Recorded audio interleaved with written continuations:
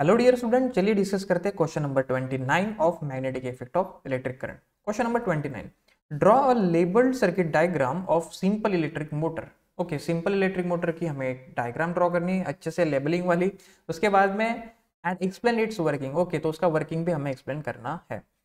In what way this simple electric motors are different from the commercial motors ये भी हमें बताना है। सिंपल मोटर्स कमर्शियल मोटर्स का डिफरेंस क्या क्या होता है?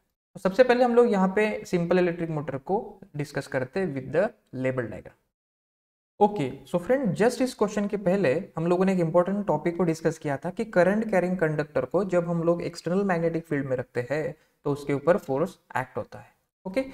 तो और वो भी परपेंडिकुलर होता है मैग्नेटिक फ़ील्ड को भी और करंट कैरिंग कंडक्टर को भी, है ना? तो यहाँ पे ये हम लोगों ने लास्ट क्वेश्चन में देखा था इस कंसेप्ट को। तो तो उसी कंसेप्ट को यहाँ पे यूज़ करके इस इलेक्ट्रिक मोटर को बनाया गया है means electrical converge energy is converted into the mechanical energy तो यहाँ पे एक एक्सटर्नल मैग्नेटिक फ़ील्ड आप लोग देख सकते हो, इस तरीके से हॉर्शो मैग्नेट को लिया जाता है नॉर्थ पोल साउथ पोल और उसमें कॉयल को रखा जाता है।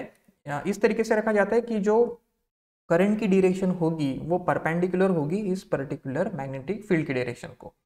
जैसे कि आप लोग देख सकते हो कि this is the direction of magnetic field and this is the direction of electric current which is perpendicular to each other और करंट जब इसमें से फ्लो होगा तो जब वहाँ पे फोर्स एक्ट होने वाला है इस ऑयल पर तो वो भी इन दोनों को परपेंडिकुलर होता है, ये भी हम लोगों ने प्रीवियस डिस्कशन में देखा है। तो यहाँ पे अगर करंट फ्लो होता है तो फ्लेमिंग्स रूल अप्लाई करने के बाद हमें फोर्स की डायरेक्शन पता चलती है कि इस साइड में ये डाउनवर्ड एक्ट होगा, इस साइड में ये अपवर्ड एक्ट होगा। और इसी की वजह से वो कंटिन्यूसली मोशन में रहता है ये particular coil okay so simple ये वर्किंग है प्रिंसिपल है यहाँ पे. सबसे पहले डायग्राम को मैं आपको बताता हूँ कि कौन सी कौन सी बातें आपके डायग्राम में आना ज़रूरी है. तो ये देखिए, यहाँ पे इस तरीके से magnetic field external north pole south pole उसके बाद में कॉइल आप लोग ड्रॉ करोगे, उसको नेमिंग करना है. ए बी सी डी इस तरीके से. ओके, इस कॉइल को हम लोग अटैच करेंगे स्प्लिट रिंग्स ये देख सकते हो आप लोग डायग्राम में, और इस स्प्लिट रिंग को रखा जाएगा एक्सेल पर जो कि घूमेगा, है ना? फ्रीली मूविंग होता है।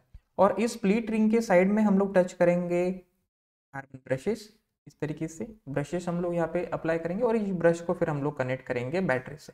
ओके, यहाँ पे होगा की इस तरीके से डायग्राम अच्छे से ड्रॉ हमें करनी है विद द प्रॉपर लेबलिंग उसके बाद में हम लोग यहाँ पे वर्किंग भी एक्सप्लेन करेंगे, हम लोग लिखेंगे वर्किंग में आपको फिर से एक बार एक्सप्लेन करके देता हूँ। देखिए this is positive pole this is negative pole terminal of the battery so current flow होगा कुछ इस डायरेक्शन में।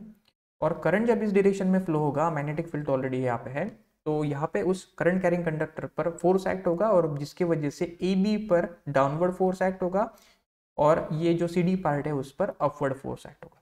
ए बी और सी डी पर ऐसे अपोजिट डायरेक्शन में फोर्सेस एक्ट क्यों हो रहे हैं? क्योंकि उनमें अपोजिट डायरेक्शन में करंट फ्लो रहा है ना? ए बी में देखिए, हम लोग करंट यहाँ से यहाँ फ्लो हो रहा था और सी डी में करंट घूम के यहाँ से यहाँ फ्लो रहा है। इसकी वजह से अपोजिट डायरेक्शन में फोर्सेस दोनों एंड्स पर एक्ट हो रहे हैं। तो इसके वजह से क्या होता है? इसके वजह से वो कॉयल रोटेट होना शुरू हो जाती है। जब ये कॉयल एग्जैक्टली वर्टिकल पोजिशन में आ जाती है, तब वहाँ पे क्या होता है? ये जो कम्यूटेटर है, वो इस पोजिशन में होते हैं ब्रशेस इस पोजिशन में होते हैं। यहाँ पे किसी प्रकार का कॉन्टैक्ट ब्रशेस और कम्यूटेटर में नहीं है। मीन्स करंट उस कॉइल से फ्लो नहीं होता। लेकिन होता ऐसा है कि ये जो कॉयल होती है है ना, वो जब इस पोजीशन में, इस पोजीशन में हॉरिजॉन्टल से जब वर्टिकल में आती है तो वहाँ पे because of moment of inertia वो फिर से आगे मूव हो जाती है। वर्टिकल से थोड़ा सा आगे। और अगेन ये जो कम्यूटेटर होते हैं, वो कॉन्टैक्ट में आ जाते हैं इस कार्बन ब्रशेस से। तो इस तरीके से ये कंटिन्यूसली मूवमेंट होती रहती है और वो कॉयल कंटिन्यूसली रोटेट होते जाता है। तो चलिए, इसको लिखना कैसे, वो समझने का कोशिश हम लोग यहाँ पे करते हैं। तो सबसे पहले आप लोग वर्किंग में लिखोगे कि किस तरीके से अरेंजमेंट है। A B C D horizontal position में है, यहाँ पे ब्रश है बी वन बी टू है ना? एक्स वाई यहाँ पे देख सकते हो आप लोग। उसके बाद में फिर आप लोग लिखोगे कि करंट जो फ्लो हो रहा है, वो इस डिरेक्शन में फ्लो हो रहा है ए बी सी डी से।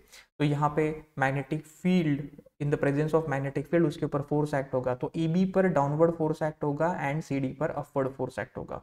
तो उसके वजह से ये कॉयल रोटेट होगी, है ना? So while rotating the coil reaches the vertical position तो वर्टिकल पोजीशन में जब कॉयल इस तरीके से होगी कंप्यूटर इस तरीके से होगे so brushes lose the contact with the rings ये जो ब्रश है, उसका रिंग से कॉन्टैक्ट नहीं होगा और उसके वजह से करंट स्टॉप फ्लोइंग लेकिन इस कॉयल को ये जब यहाँ से हॉरिजॉन्टली यहाँ से फ्लो मीन्स मूव हो रही थी तो उसमें इनर्शिया आएगा मोशन की वजह से.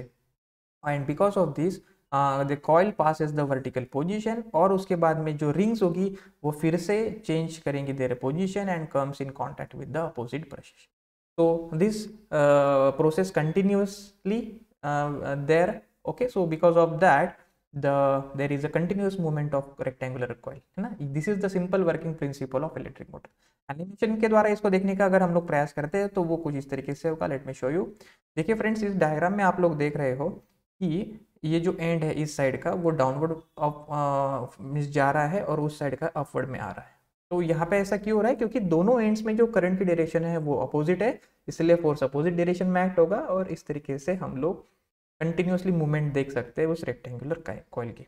आई होप जो इन्फॉर्मेशन मैं यहाँ पे कन्वे करने की कोशिश कर रहा हूँ, वो आप लोगों को ठीक से समझ में आ रही है। तो चलिए अभी डिस्कस करते हैं कि सिंपल मोटर और जो कमर्शियल मोटर्स होती है, उनमें क्या डिफरेंस हम लोग यहाँ पे देख सकते हैं। तो let's have a look okay so friend commercial motors में हमें ज़्यादा मीन्स पावर की ज़रूरत होती है है ना? सो so, यहाँ पे to increase the rotation increase the strength तो यहाँ पे हमें दो काम करने होते हैं कि ये जो परमानेंट मैग्नेट सिंपल मोटर में यूज़ किया जाता है उसको हम लोग कमर्शियल मोटर में यूज़ नहीं करते। क्योंकि परमानेंट मैग्नेट की जो मैग्नेटिक स्ट्रेंथ होती है वो फिक्स होती है उसको हम लोग इंक्रीज डिक्रीज नहीं कर सकते। तो rather than using permanent magnet हम लोग यहाँ पे कमर्शियल मोटर में यूज़ करते हैं इलेक्ट्रोमैग्नेट क्योंकि इलेक्ट्रोमैग्नेट में हम लोग जितनी ज़्यादा चाहे उतनी मैग्नेटिक फ़ील्ड को इंक्रीज या फिर डिक्रीज कर सकते हैं। सो ये पहला चेंज होता है सिंपल मोटर और कमर्शियल मोटर दूसरा चेंज ये होता है कि जैसे कि सिंपल मोटर में हम लोगों ने सिर्फ़ यहाँ पे एक ही टर्न का कॉयल यूज़ किया था, यानी कि नंबर ऑफ़ टर्न्स काफ़ी कम होते हैं, एक, दो, तीन, ज़्यादा से ज़्यादा। लेकिन कमर्शियल मोटर में हमें ज़्यादा मैग्नेटिक फ़ील्ड चाहिए तो उसके वजह से इसके पहले वाले क्वेश्चन में भी हम लोगों ने देखा है कि जितने टर्न्स ज़्यादा होंगे कॉयल में, उतनी उतने टाइम्स वहाँ पे मैग्नेटिक फ़ील्ड की स्ट्रेंथ बढ़ जाती है। तो यहाँ पे आप लोग देख सकते हो कमर्शियल मोटर में कि ये जो कॉयल है, वहाँ पे जो नंबर ऑफ़ टर्न्स है, वो काफ़ी ज़्यादा होते हैं। Very large number of turns you can see this in this picture of commercial motor okay so ये सेकेंड पॉइंट है। थर्ड पॉइंट ये है कि यहाँ पे आप लोग देख सकते हो कि ये जो कॉयल है है ना? वहाँ पे सॉफ्ट आयन कोर का यूज़ नहीं किया गया था उसको माउंट करने के लिए। लेकिन कमर्शियल मोटर में आप लोग देख सकते हो कि यहाँ पे सॉफ्ट आयन कोर पर ही वो कॉयल्स को वाउंड किया गया है। तो जिसके वजह से स्ट्रेंथ बढ़ती है आरपीएम ऑफ़ मोटर बढ़ता है। तो ये छोटे छोटे चेंजेस यहाँ पे करने के बाद कमर्शियल मोटर बनती है। तो आप लोगों को इतनी सारी डायग्राम्स वगैरह नहीं ड्रॉ करनी है। आप लोगों को सिंपली ये आप लोगों ने इस तरीके से डिफरेंस फॉर्मेट में भी लिखा तो भी चलेगा, या फिर इस तरीके से आपने पॉइंट वाइज इस डिफरेंसेस को लिखा तो भी चलने वाला है।